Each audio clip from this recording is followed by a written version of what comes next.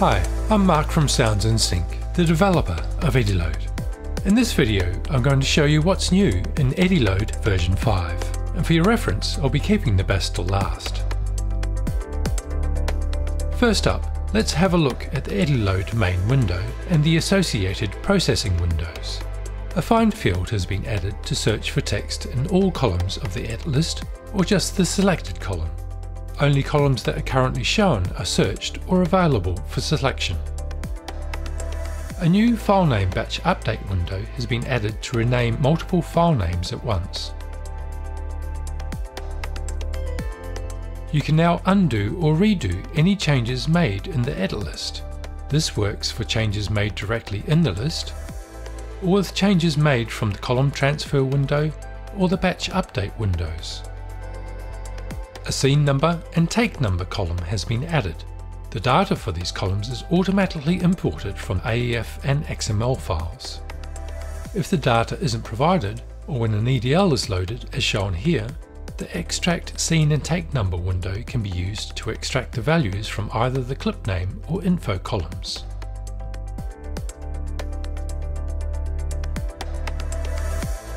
I'm excited to be able to offer the option to import Pro Tools session files directly again as per EdiLoad version 3. The session import window has been updated so you can now set the source timecodes to either the original or user timestamps. The track list now also shows if the selected timestamp has any usable values in the clips on each track. Assign a list track to one or more Pro Tools tracks and click OK to load the edit data. If the Pro Tools clips are linked to WAV files that are present and contain sound role name metadata, this is now loaded in the role name column. If the session you want to import is already open in Pro Tools, simply select File, Get Data from Pro Tools to save locating the session file. Just make sure you save any changes made in Pro Tools before importing. If you need to load a set of EDLs that relate to individual picture layers into the main window, you can now click Import and select multiple video EDL files, or simply drag and drop them onto the main window. This window is displayed to confirm the layer order of the files. Click Load, set the EDL load settings, and EdiLoad will flatten these lists to create a V1 edit list that you can export a picture cut or scene change track from. EdiLoad edit lists, AAFs and XML files can now be appended to a list of the same file type. Load the first list, then select the appropriate append menu item, or simply drag and drop the next list and click append.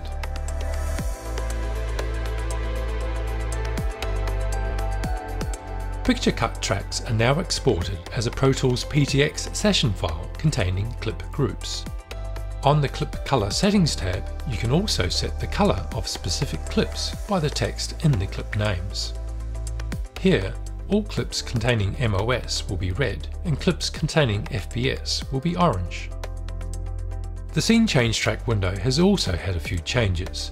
Firstly, the window now requires that the scene number column contains a scene number for all location events. Load a PDF shooting script to extract the scene descriptions as before, and now create the scene change list. Finally, on the Export tab, you have the choice to export a Pro Tools PTX session file containing clip groups. Here, we set up the session parameters and the colours of the clips. The defaults setting interior scenes to orange and exterior scenes to green. Alternatively, a scene change marker track can be created in Nuendo by clicking Send to New Window. Here we can see a marker track has been created with a cycle marker for each scene containing the scene number and scene description.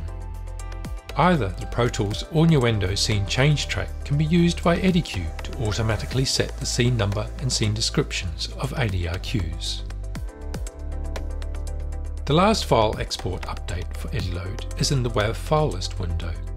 This can now create a PTX session file linked to mono or poly WAVs, with all WAVs spotted to the selected timestamp.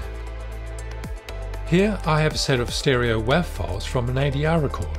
When I export these in a PTX file, EdiLoad creates a set of mono audio tracks showing each channel of the poly WAVs spotted to their timestamp, ready for an ADR edit. The main update for EdiLoad version 5 is the addition of the new assembly window. This window simplifies the task of creating a dialog assembly to supply all channels that were recorded on location to your dialog editor as per the audio edits made by the picture editor.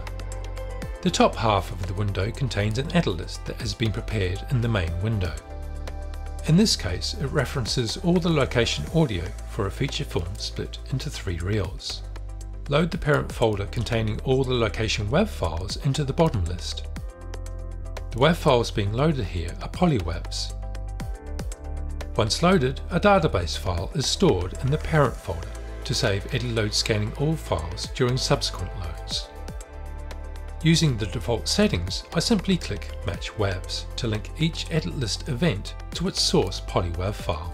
I can then click Export PTX to export a Pro Tools session, set the session properties, and the parent folder name and location. Opening the session created in Pro Tools, you can see each mono audio track contains clips that link directly to each channel of the polywav, ready for dialogue editing. Adjusting the height of the tracks and zooming out, we can see the full assembly of this 3-reel feature film. To export an AAF from the assembly window, we need to load a copy of the polywavs that have been split into mono.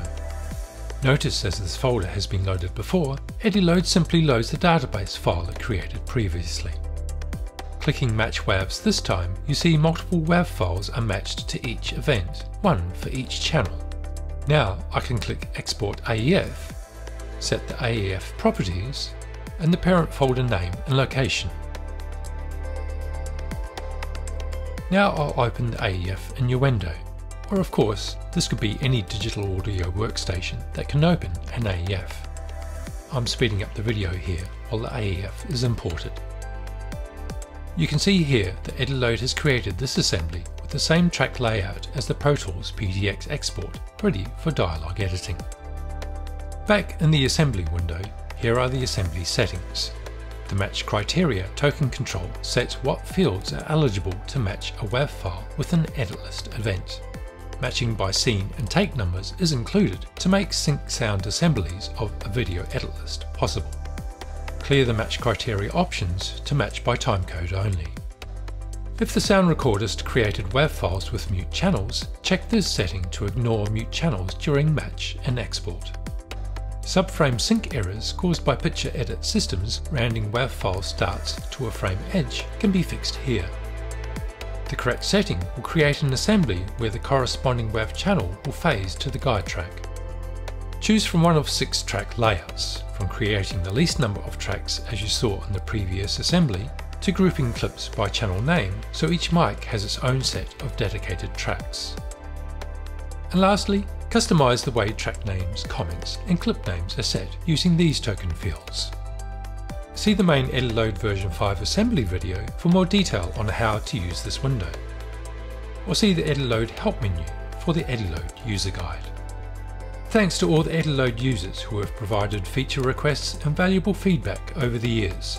I trust this update will help to keep your Soundpost project on schedule. To try EdiLoad version 5 for yourself, either on Mac OS or Windows, just head to the download page of the website. Once the app is installed, just run it and click Try to activate a trial license.